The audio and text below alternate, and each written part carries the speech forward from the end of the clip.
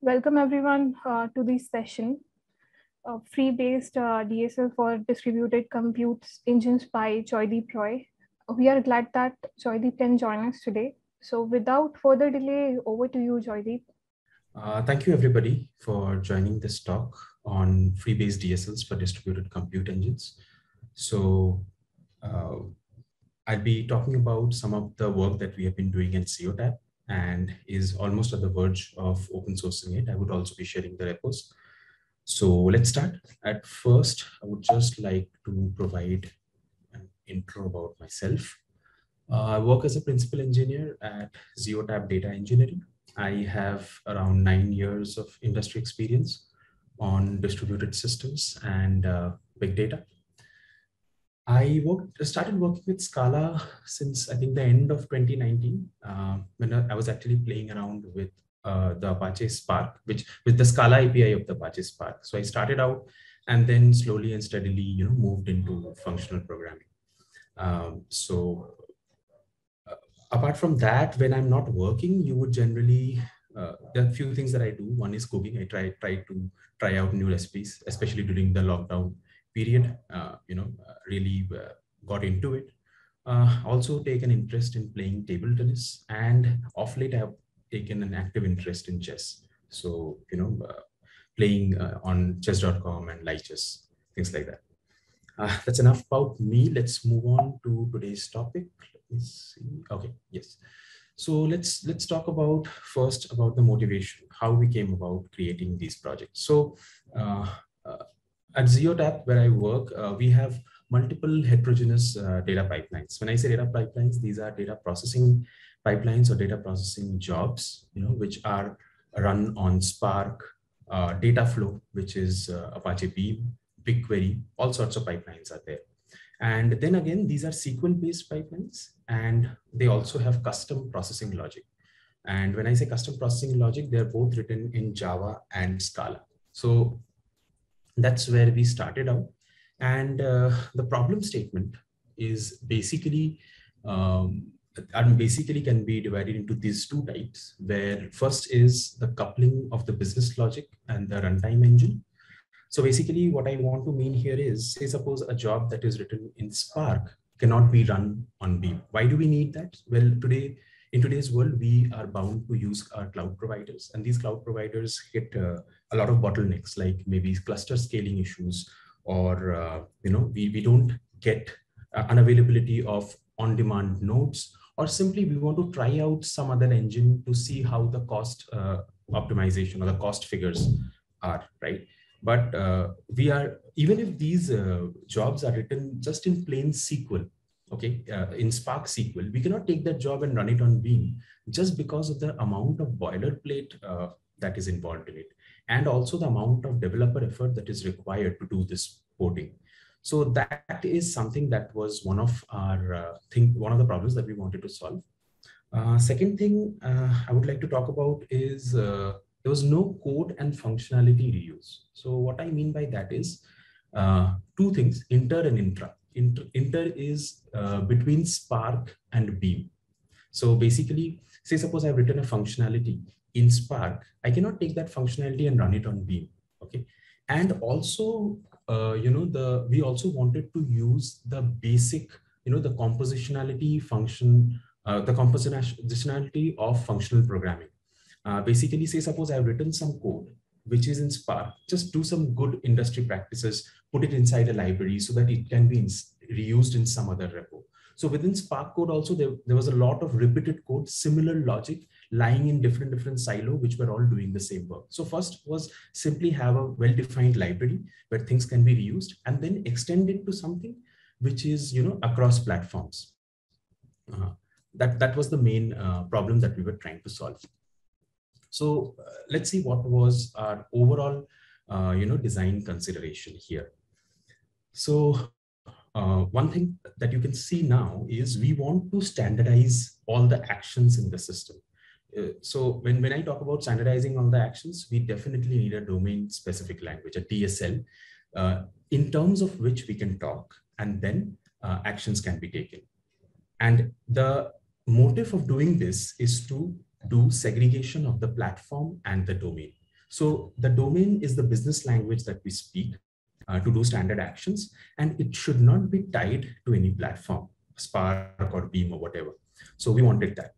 And another very distinct feature that we figured out is uh, within this DSL, within the AST, within the abstract syntax tree of my DSL, the atomic units, we needed some sort of combination. Okay, we needed a sequential control flow.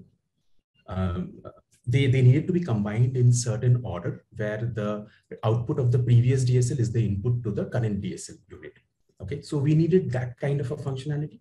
Um, as you will see, the data IO and the ZeoFlow project has that.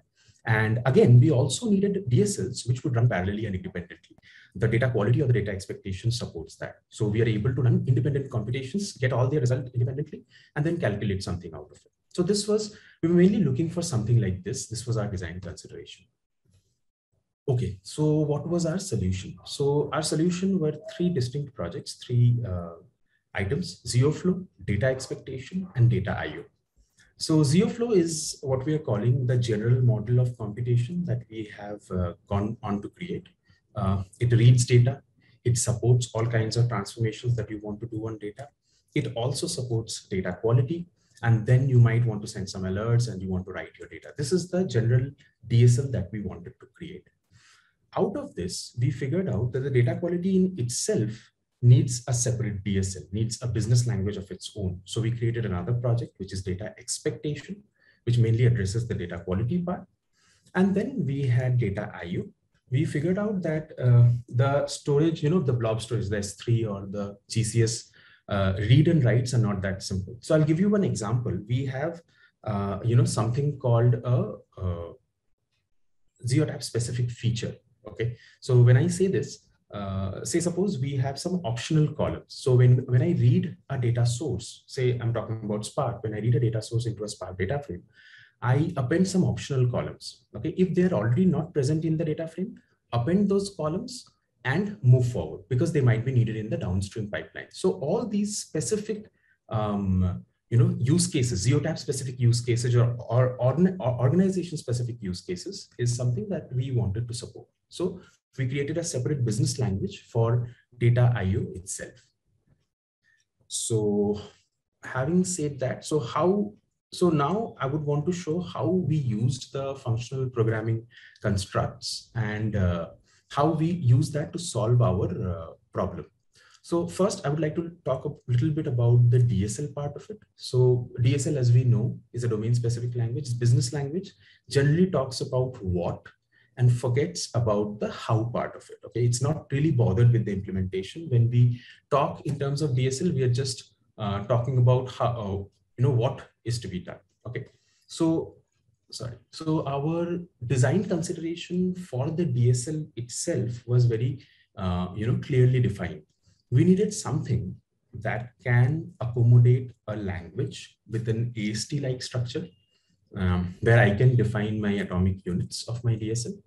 It should behave like a monad because we needed a kind of uh, you know sequential control flow. We needed to combine them in different ways so that we can get our desired result. And the runtime, the distributed uh, compute which we are talking about, or the execution engine, would become plug and play operators. Uh, I would talk about this business language and I would plug in the Spark or the Beam interpreters at runtime and I'm able to generate the output. So these were one, one of our key considerations that we um, looked into. So having said this, let's move on to some of the functional programming concepts which we used, which we explored to solve this problem.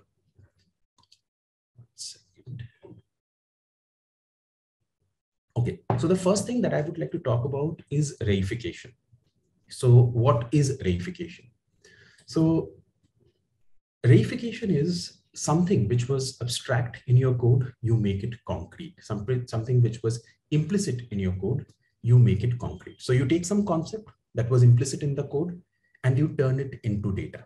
You uh, then can use it to, to be manipulated by your program. So that is basically what is reification. Let me show a few examples um, let me let me take the example of functional programming itself. So uh, in object-oriented programming, functions are not data, right? Uh, however, in functional programming, you can pass around functions like data. So these were implicit, but now they have taken, uh, you can pass around functions like data and then you can manipulate that. Uh, another example that I would like to give is the example of the option monad. So option monad really reifies the concept of partiality, right? Earlier, we would either return a null or a result from, uh, from your code. But now we have defined them into a specific data structure, which is your Some and none. And now you can use these data structures further in your code to, uh, to manipulate, uh, you know, to write your program, basically. So that's what we are really looking for. Okay, so it is definitely, it is everywhere. Kleisli is another example of the reification of the concept of effectful composition. Uh, trampoline is there in cats. It's reification of stack safety. And finally, DSL, which we really want to you know, implement. So reifying the steps of a computational procedure in order to represent them without actually executing them is a very common uh, implementation strategy in functional programming. So we want to do that with our DSL. Okay, we want to take uh, you know the uh, the atomic units, represent them, but not yet implement them. Okay, we want to defer the implementation to a later point in time. So let's see how we can do that. Okay, so first what I'm going to do is I'm going to show uh, how we can go ahead and do something like that. So if you see here, uh, if you had to write these functions, mm, you know, this, this would be functions in your code. Uh, you load the source, you take some source paths and you return a data frame. You write to sink, you take some source paths and you, uh, you know, return a unit. Okay. Uh, so these would be implicit in your code. We took this, we reified them. What it means is we created some data structures out of it. We created an ADT out of it. So we have these uh, case classes, load sources and write to sink, right? And uh, they extend this flow DSL, okay? So let's look at what our DSL would look like. So we have, uh, these are the basic units, atomic units of our DSL. Load the source, load the user-defined functions, run the transformations, assert data quality, write to sink, send alerts. These are the basic units. Okay. Uh,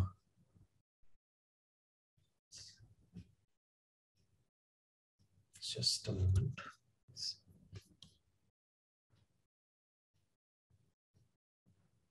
Okay, skipped one slide. My bad. All right. Okay, so now if you see what we did is we defined a trait flow DSL. Okay, and all my ADTs, all my uh, atomic units are now extending this flow DSL. Okay, so load sources, it extends a flow DSL. And one thing to understand here is it returns a generic type A. Okay, because at separate point in time, while loading the user-defined functions, I might want to return a unit, but while loading, while doing the uh, asserting the column expectations, I might want to return some expectation result. So that's why we have kept it a generic type. Okay. So now what are we going to do? We have created this DSL. Uh, what are we going to do with this DSL, right? So I'll just um, outline the steps that we are going to perform. Okay. Uh, first is we are, we are creating the DSL. We'll lift it into something called free. We'll come to that in the next slides. Uh, then we'll construct the program using the DSL and uh, we'll provide an interpreter for that DSL and we'll invoke the program in this structure. You know, we'll invoke the fold map method on the program, passing the interpreter separately. So this is these these are the sequence of steps that we intend to perform. Okay. Uh, so before I move on, I think it's uh, important to understand what a free really is conceptually. Okay. So let me move on. Okay. So one thing is, uh, if you look at the free structure, okay, now if you see on the left-hand side, you have this free flow DSL, comma A, right? It is of the structure free S, comma A, right? You can think of this free as the program which uses S, which in this case is flow DSL, your language to compute the value of A. So free is the program which takes your language as an input and computes the value of it. Okay. Another uh, two more uh, distinct things that I want to talk about free is, which are there on the right hand side. So free kind of provides a monad for your AST or DSL. Now, what does that mean?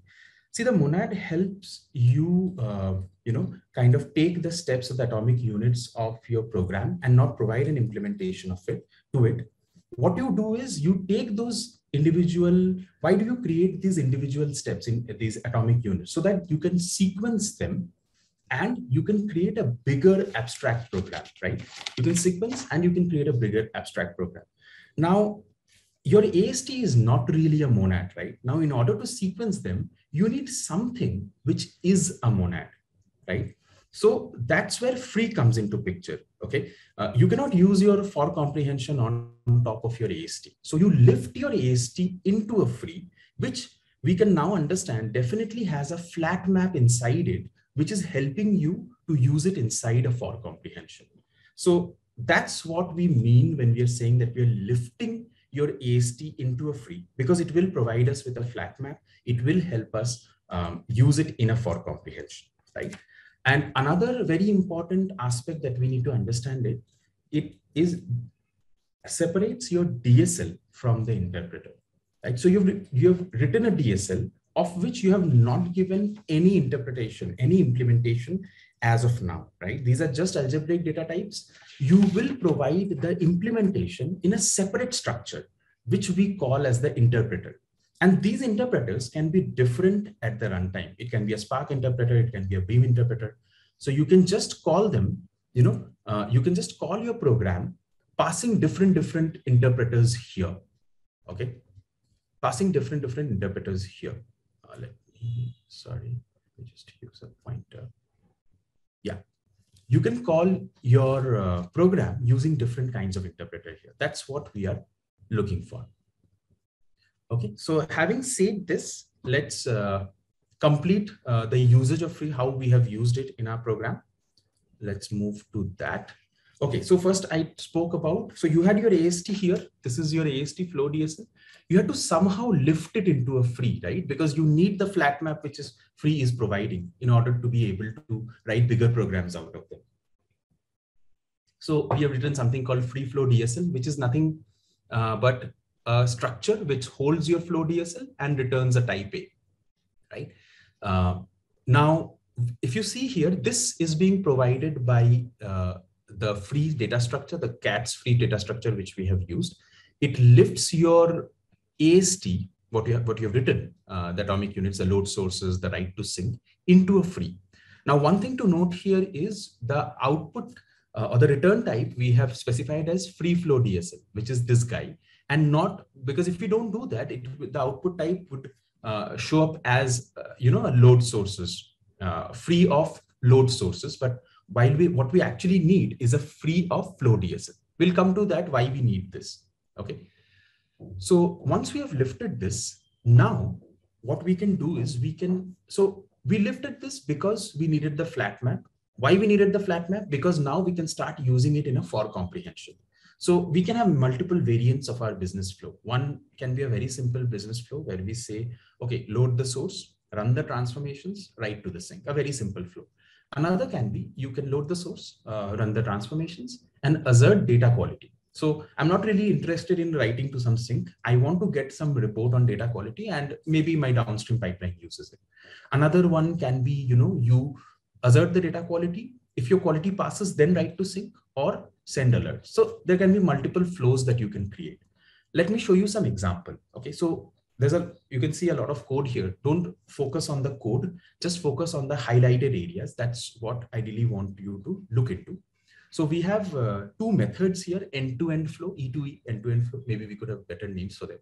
End-to-end -end flow and end-to-end -end flow with expectations. So if you see here, uh, what we're really doing is we have taken our load sources, load user-defined functions, run transformations, write to sink and uh, we have put them in a for comprehension. So definitely these, we have lifted it into a free and somewhere we are getting a flat map. That's where we, we are able to use them in a for comprehension. And now we're able to, you know, combine them in multiple ways so that we can achieve the desired output. So in this case, that if you see the desired output is a unit. After writing to sink, there's nothing we can return. So we returned a unit. But in the other case, because we the the part of this free flow DSL, you know, we had kept it a generic type A.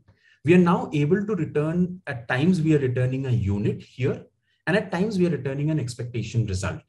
Okay, so that is something we need to note because they can be combined in multiple ways, and we have kept it as a generic type. We're able to return whatever we need at runtime. Okay, uh, at least that is how we can write the abstract programs.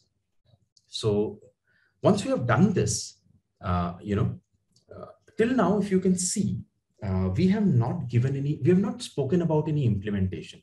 We just wrote some, uh, you see here, we just wrote some AST. We took that AST, lifted it into a free. We now we wrote some program, some high level program, okay, and we haven't we haven't said yet whether we want to do this work using Spark, using Beam, using BigQuery, nothing. We have not spoken about the implementation at all. We're just talking in terms of some business language. Okay, so now we will be providing the implementation. So if you see here, this is what the implementation would look like. Okay, it's a function uh, which, if you see, it's a function K uh, of it takes a flow DSL and returns an ID of A. Okay, what is this? This is called a natural transformation. So it's really, uh, you know, it's a flow DSL is a representation of your AST. Uh, you can think of flow DSL as the source AST, which is being transformed, which is being mapped to your implementation, to your target AST. Okay, uh, or rather, I shouldn't put it as AST to your target structure. In this case, ID is the target structure, right? So this is where you do, uh, this is where you define your implementation. This is a very simple uh, definition where we have just printed it out. We just took the uh, load sources. What we are saying at runtime, just print out the source paths. And when you, at while you've taken, uh, you know, when you're writing to sinks, just print out that we are writing to sink. But this can very well be some other implementation which we can pass, some other interpreter which we can pass, which will actually do some computation. Maybe uh, use it to write using Spark or using Beam, right? So that's what we are trying to do. So, you know, having, so one thing to note here is having really separated the abstract syntax tree, having really separated out the flow DSL here helps us to interpret it in different, different ways at runtime. So now I've provided the ID implementation. I might as well provide, which we will see as well later, uh, I might as well provide some other implementation. Okay. So yeah. And this, this sign here is actually uh, a standard sign that we use for natural transformation. Okay. So I'll come to that later. And how we invoke it, we've already spoken about it. Uh, you take the end-to-end -end flow, you call the flat map, uh, fold map uh, function on it, and you pass your interpreter inside it. The general form is program fold map interpreter. That's it. You're done. Okay, so since we have spoken so much about uh, uh, free, you know, we ought to see how does a free look like or what is the base intuition behind the free. Okay, so we have we have spoken about you know lifting something into a free and then uh, writing some programs using it and then passing an interpreter. So we we ought to see what a free you know looks like. So uh, first of all, one thing that we want to uh, understand here is we wrote our DSL, which was not a monad, right? Instead, we gave all the monadic responsibilities to free, right? So free must be uh, must be some data structure which holds the steps of our computations so that later we can traverse it and we can interpret it at our will, right? So as you can understand, like our flow DSL had an algebra, right? Free must also have an algebra which it uses to store our AST, right? So free has an AST of its own, right? But from our previous uh, slides, we can infer that free must also have some monadic qualities, right? It is allowing us to use it in a for comprehension. So free must also have a point and flat map, right? But one thing that we are trying, what we are trying to really say about free is, free is itself reifying the concept of a monad. You take something and you lift it into a free, you suddenly get uh, get to call flat map on top of it. What is this? This is the same concept that we saw before, reification of the concept of the monad itself. So why not? How can you reify a monad? So why not take what is there implicit in a monad, like a point and a flat map, and try to reify that, right? Take what is there implicit in a monad, the point and the flat map, the pure and the flat map, whatever you might call it, and try to reify that. Okay, so look at this. Now let me, uh, you know, see what is written here. Uh, you know, our AST of free should resemble a point and a flat map. We are trying to reify the concept of a monad. So somewhere it should definitely resemble uh, this point and flat map. If you see here, we have defined this trait or this abstract class, which is a free, which takes a higher kind of type and an A. Look at this pure. There is an uncanny similarity between pure and point. Okay, it takes the A and returns uh, you are free of FA, right? So this is one part. And the second part is, although the suspend part is not actually, you know, uh, exactly looking like a flat map, but the first part of it is, right? It stores a F of free of FA, right? Which is this F of A part, right? So if you can see from here, free would definitely be a, uh, you know, a, a recursive structure where it would look something like this, okay? Where you would have this recursive structure of suspend, where F would be your AST that would be stored inside the suspend, and it would be terminated by a pure, right? So suspend really what it does it, it uses, um, uh, it applies the F on the previous suspend to calculate the uh, free, okay? So it's, it's definitely uh, what we can see is it's uh, the terminal point here is pure and it's a recursive structure and uh, a is uh, basically the recursion carrier here. So this f of a this a is basically the recursion carrier here. Okay so okay um, having said this let's see so once we have uh, come to this definitely Free is a monad, so free should also implement the um, interface of a monad, the point and flat map. Okay, so let's see how it implements that. Okay, so as they say in functional programming, uh, when you don't know what to do, it's best to follow the type. Okay, so uh, first the point uh, is really easy to implement. If you see here, we have the seal trait free, and the point is really uh, we can just take the data structure pure, which we defined earlier here, and we can just uh, wrap the A within that pure, right? Uh, flat map will be a bit more involved. Let's look into that.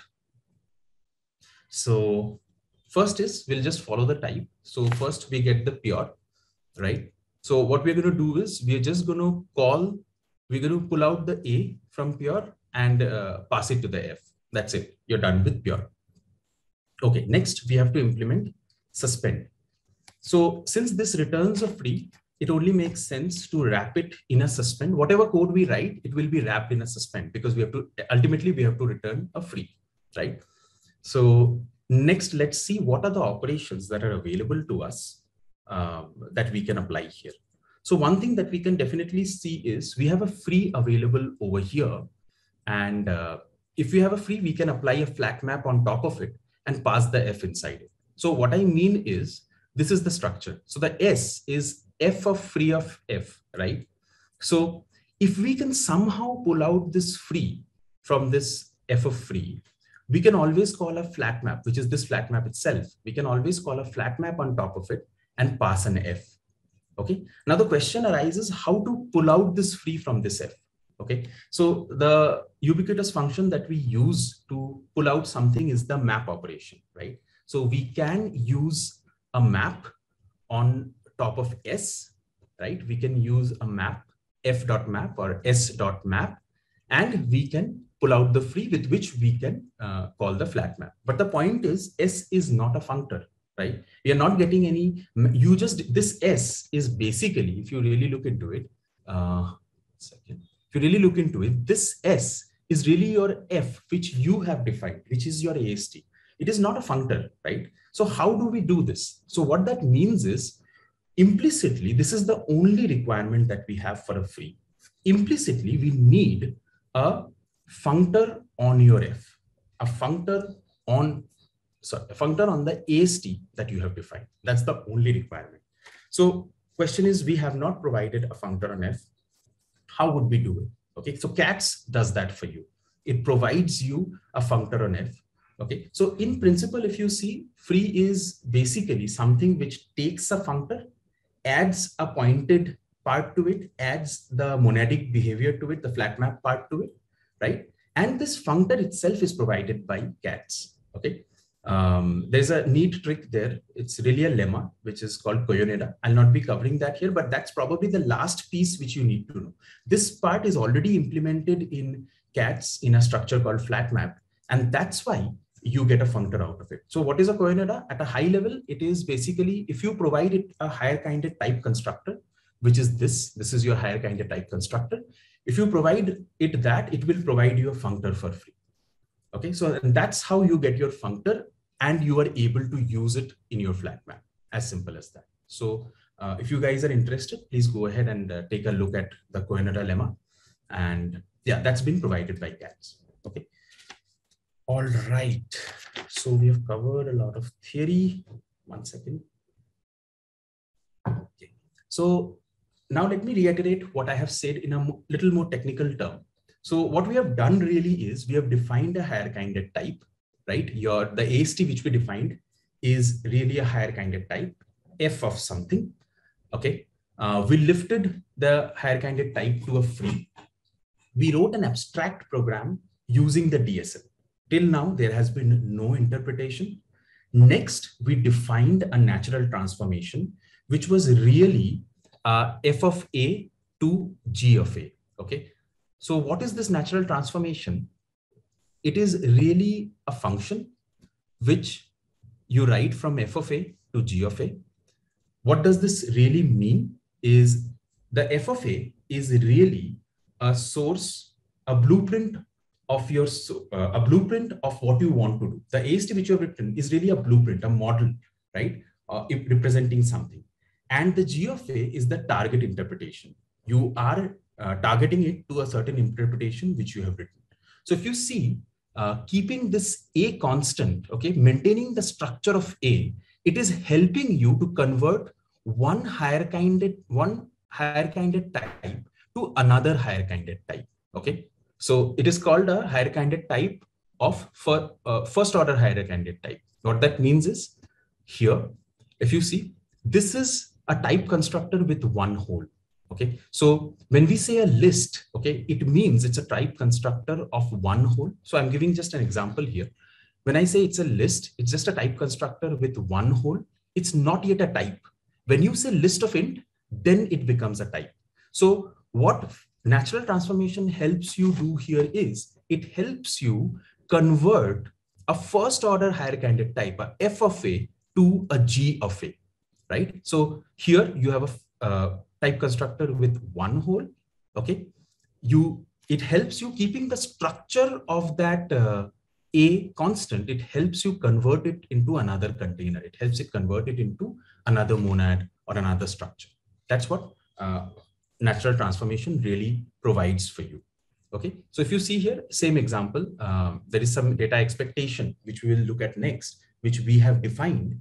And we, what we are really doing is converting it into a Spark data evaluator. Both of these, how do you know it's a higher kinded type?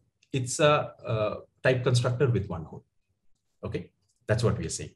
So let's let's uh, quickly look at uh, the next set of uh, items, which is our free applicative. Because as I said, uh, there's one thing that I mentioned at the beginning is, although we needed for comprehensions for sequential operation, we also needed operations which were independent in nature. Okay, so I'll give you an example of these independent operations. Say suppose uh, in our data set, we have a column called gender and uh, the gender column um, can, maybe there are two things that we want to know about it. One is, is it non-null or not? It should always be non-null. Another thing, it should be one of the values between male and female. Okay. Now, whether we, whether it is non-null or not has no implication on whether the values are male and female or not. We want to compute both of them independently and then combine their result. We don't want to do like uh, once we have asserted non-null, then only go ahead and compute whether they're within this value or not. Okay, so these kind of in independent computation is something that we were also looking to represent in the data quality piece. And hence we wrote this interface, which is our data expectation. More or less, it is the same interface with just a small change of how we are combining it. So I'll show that. So here you have data expectation. Uh, we have written some constructs on top of it, should be present one off and these are the entries, maybe male, female, and non-null always. Okay. Uh, next, what we do is, if you see, it is exactly same. Instead of defining a type with free, we defined a type with free applicative. Okay. Uh, we put the data expectation in place of S, and then we have A. So this is the type we wanted to define validation. And then free applicative also provides a lift, which actually lifts your AST, lifts your DSL, into a free applicative. So it's exactly the same. So you just lift it. Uh, once you've done that, now is the only change that you'll have to keep in mind. So we want to check whether column is present or not. And we want to check should have one of male and female. And we also want to check should always be non-null. Okay, these are examples of two programs. So we use a structure here called as map n. Okay, instead of for comprehension, we use something called mapN. Uh, what this means is this is really a product where all of these will be calculated independently and the result of them will be joined in some business logic that we provide. So here we wanted an and that um, maybe this is this returns a boolean and we are saying that only when column is present and it should have one of these entry and it should have it should be non-null return a true something like that okay so this is the only difference that we have okay and this is the implementation, again, exactly the same. Uh, one thing to note here is uh, the uh, the hierarchy type that we are using here, Spark Data Evaluator. Uh, okay, this takes a data frame and returns an a. So a data evaluator, as we'll see a little later, that it can be of multiple types. Uh, uh, the interpreter, the output type of the interpreter can be of multiple types. So this is uh, one thing that I wanted to point out here. Okay, now invocation is exactly same. Program fold map interpreter. So you have your mandatory column checks, you do a fold map and you pass in your interpreter here. Okay. Uh, okay. Sorry. So only thing to point out between Hello. the applicative and uh, free monad is free monad you will use when you have dependent computations and free applicative you will use when you have independent computations like we had for data expectation. Okay, let me show you an example of the interpreter and then we'll probably wrap it up. So, all right. So before we, I, uh, we have written a lot of interpreters in our, uh, uh, you know, um, in our project and one of the, and we have made heavy use of the state monad. So let me just uh, briefly explain the state monad first, which is um, uh, in functional programming, state monad is used to handle application state. So what I mean by that is uh, you, you start with a state and you calculate. Uh, so you start with S and you calculate S comma A, okay, where S is the updated state and A is the A is the value that you calculate, okay, the result that your function produces. So it's not really S. I, I like to represent it as S dash, okay, where S dash is the updated state. Okay, so when you put it into a for comprehension, the previous state which you calculate is passed in the next computation to be used. Okay, so that's how the state monad uh, at a high level works. So I'll just uh, show one example here. So if you see here, uh, we we are using a state monad for uh, you know storing. So what we are really doing is we have taken um, some data frames. We are, we are loading the data frames. Then we are uh, running some transformations on them. Then we are running, uh, we are loading some user-defined functions. And when the SQL is running, they're using those user-defined functions. Then we are uh, running some computation.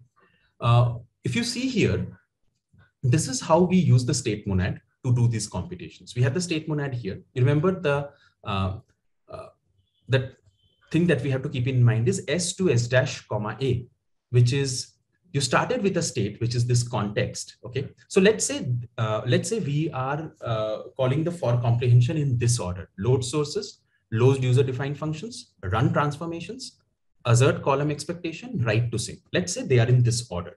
Okay. So when you start with a state, first I will pass in an empty map. Let's let's see.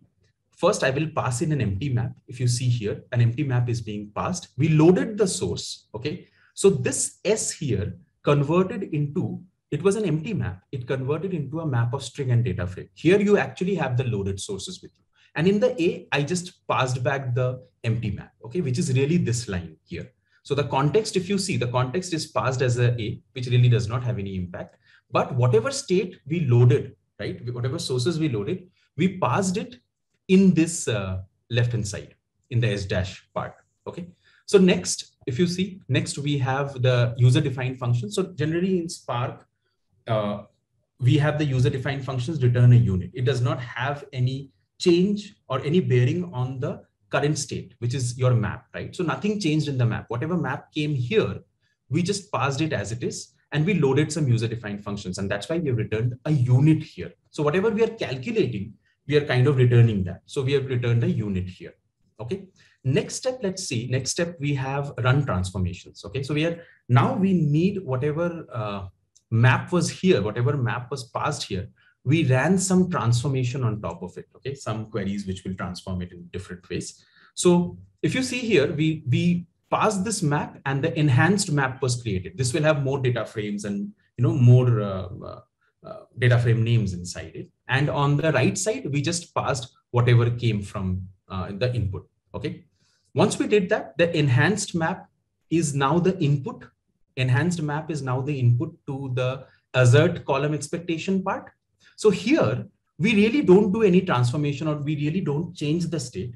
What we instead do is we calculate some data quality checks on top of it. So we run all sorts of data quality checks in as part of data expectation, which we have shown. We run all those checks. Now, if you see, in we are returning a column expectation from it. Okay. So if you see here, we, we have returned, we have run the column expectation and the output of this guy is actually a column expectation. Okay. Which we can choose to use or throw away, whatever, right? But the in, uh, initial state remains unchanged. And finally, we pass it here where we are writing to the sink.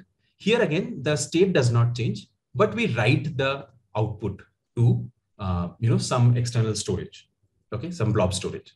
And that's what we are doing here. We are taking uh, the map and we are writing it out to some external storage. Uh, so that's about it. Okay, that's how we are using the state monad. Okay, so one point, one uh, note that I would like to make here is when you're writing these interpreters, um, the most popular choice we saw is the state monad because what you're really trying to do is why have you written this for comprehension? You're really trying to pass uh, some previous state to the next computation. You're trying to take the output of the previous atomic units, atomic uh, unit and pass it to the next computation. And that's why uh, in most of the cases, state monad is the most popular choice probably. But then we also used a lot of these readers, okay? The reader monad. So if you see here, we have a reader of data frame writer. This is the Spark data frame writer, reader of data frame reader, and then we have reader of PCollection. This comes from Beam. These two come from Spark. We have used a reader monad here. Uh, what a reader monad really does is it takes an environment and calculates something using that environment. Okay. But in this case also, this data frame writer and this PCollection reader really stores a state inside it. And that's why what we really did is we took the data frame writer, set some state on uh, state on top of it. Okay. So the data frame say uh, reader for Spark, you want to mention whether uh, uh you want to load a CSV or not. So you just set an option CSV.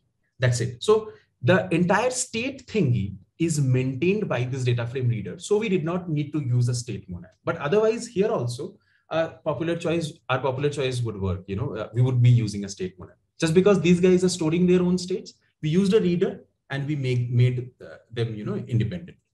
So that's one thing. But otherwise also one point I would like to uh, say is we have to be creative while, uh, you know, writing interpreters. Uh, it can even be a function like I was trying to show earlier.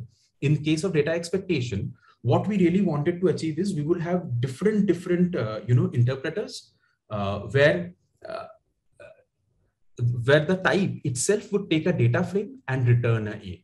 If you see this is the type, this is a type with one hole, where A is something which is really malleable. We can change that according to our wish. And it itself returns a function which takes the data frame and returns a.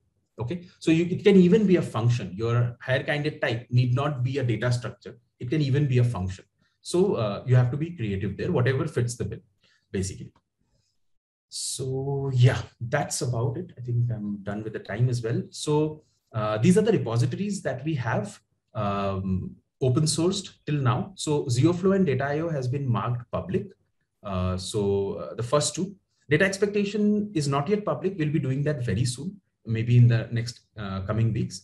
Uh, for some people who are using Spark, we have also open sourced um, Spark property tests library, which is to write better property tests on Spark uh, and it is available on Maven as well.